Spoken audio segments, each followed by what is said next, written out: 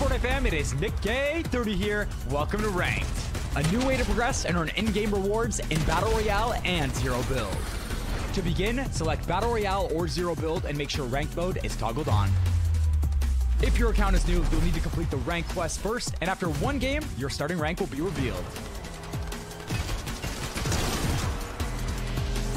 Rise up in the ranks with top placements and eliminations. Want an extra challenge? The best of the best will make it to the premier rank. Unreal.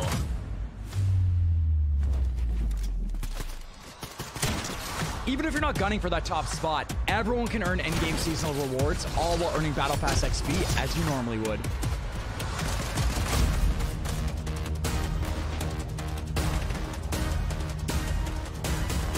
Your rank journey begins today. Code créateur SCM